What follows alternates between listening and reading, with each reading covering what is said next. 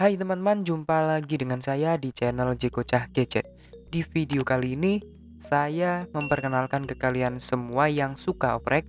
Di Poco X3 ada ROM UI yang ringan banget, yang awet, yang minim aplikasi sistem, tidak ada iklan, dan masih banyak lagi. Dan ROM ini banyak yang pakai juga loh. Sebagai referensi saja, bila kalian yang ingin pindah ROM global ke custom room, dan untuk referensi kali ini, sesuai judul dan thumbnail adalah MIUI Elite ROM Plus. Custom ROM ini merupakan MIUI 12, MIUI EU yang telah dimodifikasi sehingga minim dari bloatware, ringan untuk dipakai, multitasking lancar, dan penggunaan internal jadi lebih sedikit. Dan minim bug juga. Dan sudah ada bahasa Indonesia jika kalian yang tidak bisa bahasa Inggris.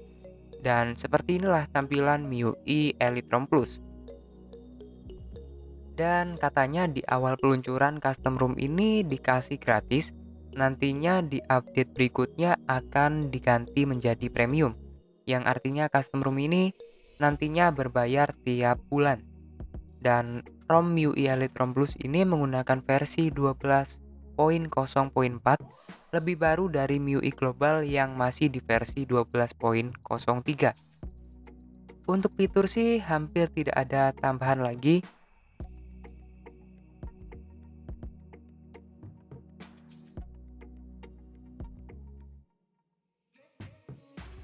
Hanya saja yang ini di bagian tampilan, kemudian pusat kontrol dan layar notifikasi ini ditambahi di bagian bar status ini. Ini sudah wajar ya di custom room UI. Bagi kalian yang baru pakai MIUI pastinya kaget juga dengan fitur ini. Untuk yang lainnya sih nggak ada. Dan kita lanjut di masalah kamera. Karena ada yang bilang kamera bawaan ROM global atau MIUI ID ada yang poor close ketika menggunakan fitur stabilizer. Dan di room ini aman semua, nggak ada masalah lagi.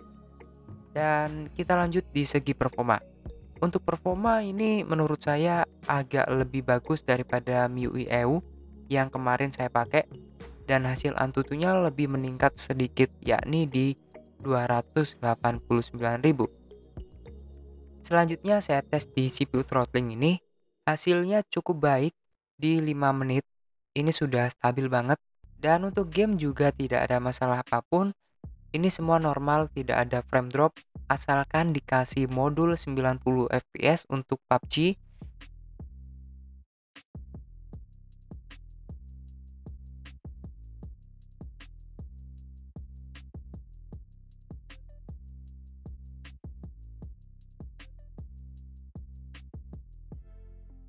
dan Genshin Impact juga tidak ada masalah lagi ya. Ini enak banget.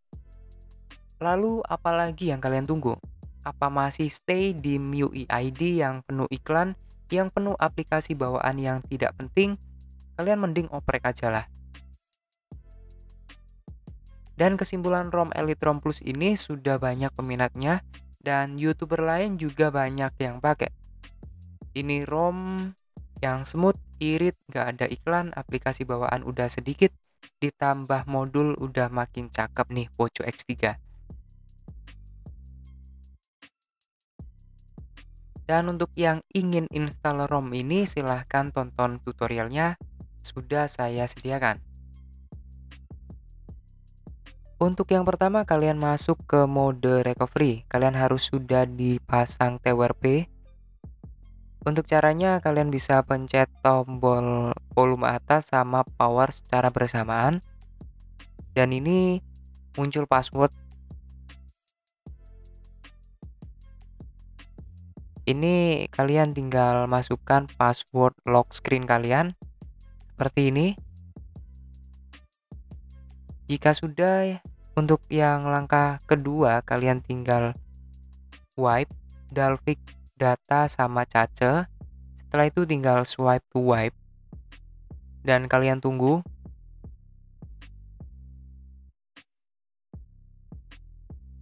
Dan jika sudah, kalian langsung install ROM-nya.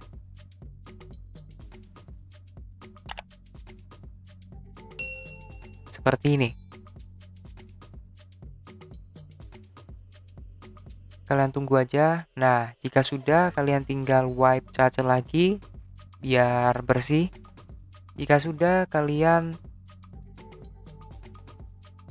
untuk lanjut ke langkah selanjutnya, kalian tinggal pergi ke manage, kemudian checklist data, lalu kalian tinggal format data seperti ini.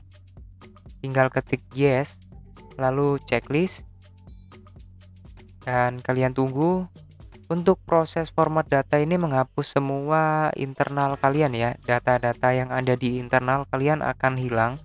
Disarankan untuk backup terlebih dahulu ya. Seperti ini nanti dia akan kosong. Dan lanjut kita reboot sistem dan kalian tunggu hingga prosesnya selesai. Untuk booting ini agak lama jadi kalian harus bersabar karena proses untuk penyesuaian di ROM baru seperti itu agak lama. Nah, ini sudah muncul boot animasi ya.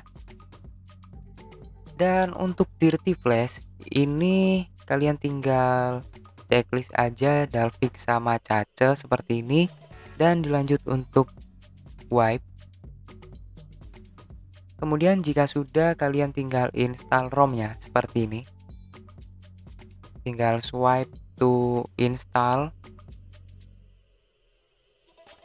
Dan untuk yang dirty flash ini hanya untuk update ROM ya. Ketika ada ROM baru kalian tinggal dirty flash aja.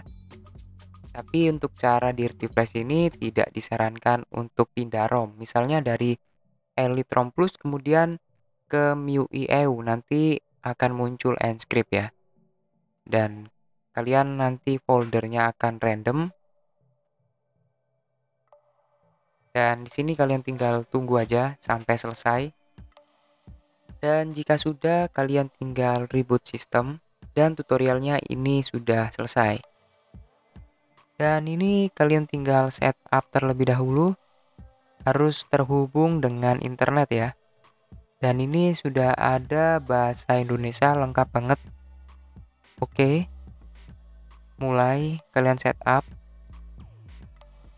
jika kalian yang ingin di root kalian tinggal masuk ke mode TWRP dan disarankan menggunakan TWRP dari Orange untuk file rootnya kalian bisa download aja di deskripsi. Untuk root manager atau magis manager ini sudah disediakan oleh Elite ROM Plus-nya. Kalian tidak bisa pakai Magis yang lain nantinya akan masuk ke mode Facebook atau boot loop ya. Kalian pakai aja yang sudah saya share ini. Untuk caranya kalian tinggal install aja ini lalu kalian swipe to install. Jika kalian yang belum di unlock bootloader atau bisa uh, install TWRP kalian bisa cek aja videonya. Untuk videonya sudah saya buatin kalian tinggal tonton aja. Untuk linknya di deskripsi ya. Nah jika sudah kalian tinggal wipe seperti ini biar bersih. Dan jika sudah kalian tinggal reboot sistem. Dan tutorialnya untuk root sudah berhasil ya dan tampilan magisnya seperti ini nanti. Ini versi 21.1 dan di sini sudah ada modul yang terinstall alternatif fingerprint yang sudah di mod kemudian ada AMOLED display color. Dan untuk modul fingerprint nanti seperti ini. Kalian tidak perlu tekan tombol powernya tinggal sentuh aja. Nanti seperti ini ya. Ini enak banget. Kalau kalian tahan tanpa tekan ya kalian tahan aja nanti akan masuk ke power menu. Mantap. Keren ini. Dan udah segitu aja untuk video kali ini. Jangan lupa untuk di subscribe channel ini. Kalau suka video ini juga bisa di like dan sampai jumpa di video tutorial lainnya. Bye